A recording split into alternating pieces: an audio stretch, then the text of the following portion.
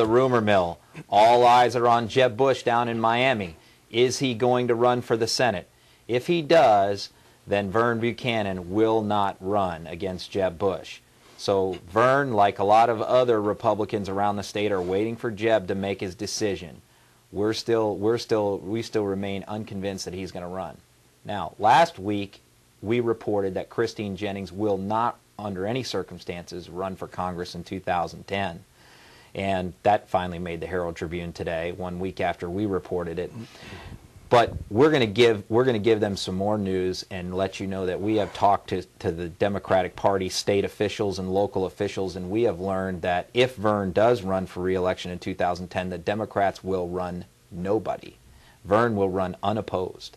Uh, the party will not back anybody. They do not consider this a winnable seat if Vern runs for reelection. They will not finance anybody's campaign. Now, certainly if somebody out there decides that they want to run, they can on their own, but they're not getting any help from the Democratic Party. So if Vern runs for reelection, we are reporting here first. He will run unopposed.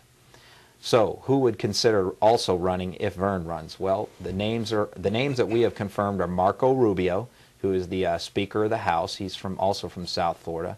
Attorney General Bill McCollum, very interested. Uh, on the Democrat side, looks like it looks like Alex Sink, who is the Chief Financial Officer, who was just elected a statewide office. Although she's had some uh, some issues and some troubles since she took office, she looks like a strong candidate. Um, now, if Vern goes, who is going to run on the Republican side for his seat here? Looks like the names that we have confirmed are Bill Galvano, from state representative from Manatee County, and State Senator Mike Bennett. We received from uh, a number of good sources close to Senator Bennett that he certainly will run.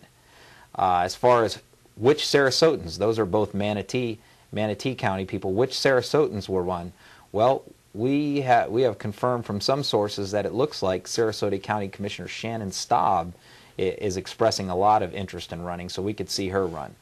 We asked uh, Keith Fitzgerald point blank, will he run? He said absolutely not, and we believe him. The only name that we have heard on the Democrat side that is seriously considering it is uh, Sarasota City Commissioner Kirschner.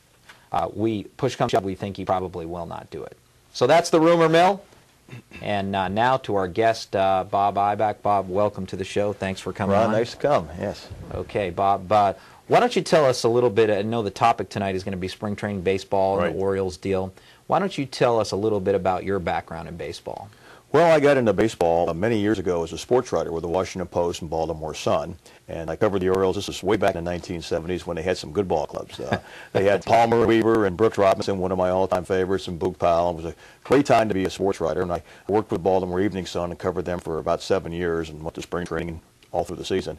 And I also covered professional football and basketball, and that kind of evolved. I got this mad idea that I wanted to get into the front office of, uh, of a newspaper business.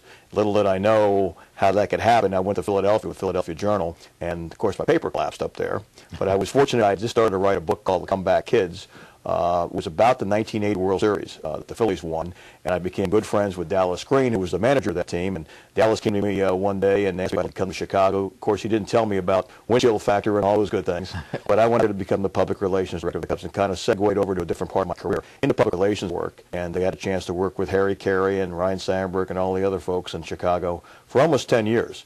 And then I left there to go with Kemper Sports and ran their sports division. It's a big organization, that does a lot of golf tournaments, owns the Maui Invitational, owned a CBA basketball team, professional, um, like a AAA team.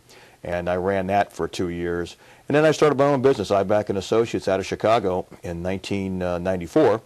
And what do you do with that business? Well, it's public relations, sports marketing. I basically have some clients that I try to uh, improve their their corporate image or product, make it more sellable and, and things of that nature. And uh, a, lot, a lot of times it leads me to being a spokesperson on radio shows and talking about their products. And what brought you to Sarasota? How'd you end up here? Well, many years ago, my two sisters who live up in Orlando and my dad lives up in uh, Mount Dora, they talked about Siesta Key and what a great place it was to come for a family reunion. So my wife Vera and I came over and uh, we uh, rented a place, a condo over in Siesta Key for about oh six summers.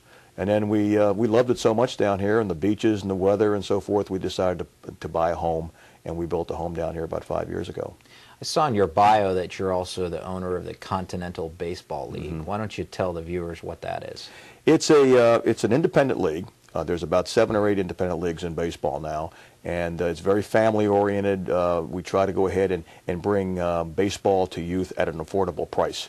So all of our tickets are three, four, five dollars a ticket, and uh, we try to go ahead no parking. Uh, all our concessions are three fifty or less, and just have a lot of good fun. Wow, a baseball game without having to spend a couple hundred dollars, huh? Yeah, forty-five bucks gets you into one of our games for a family of four.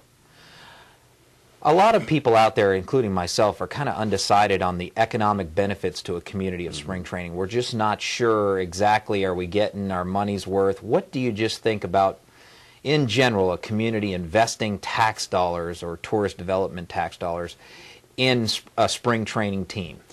Well, Ron, you know, there's only 30 different baseball teams, and uh, that that uh, dateline, as I was telling you before the show, is, is something special. Whether it be in a newspaper, on television, on radio, people talking about it, all the mentions that you would get of Sarasota connected with baseball, I don't think you can put a dollar figure on that.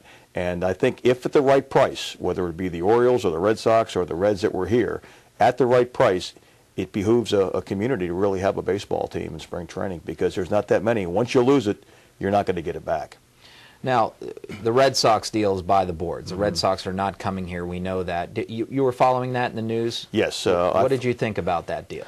Well, at first I thought they were pretty serious about coming up here. It turns out it looks to me more like they, they used the area. Or maybe the, the, the commissioners here just took a little step backwards and uh, didn't move fast enough for the uh, Red Sox. Because I think that would have been a great opportunity. I mean, the Red Sox are a marquee team. Uh, to have them here so close to the Yankees up in Tampa, uh, just the, the rivalry would have been fantastic. Red Sox Nation, you would have had like a little village attached to it. I think it would have brought extra dollar to tourism in here, certainly above and beyond what the Reds were bringing in. So the money, that, the numbers that were being thrown around, you felt that was well worth it to get the Red Sox. As long as it didn't go beyond probably 65 to 70 million dollars, I think the return on your investment would have been. All right, we'll come back. We'll have more of Bob Ibach on the Orioles deal.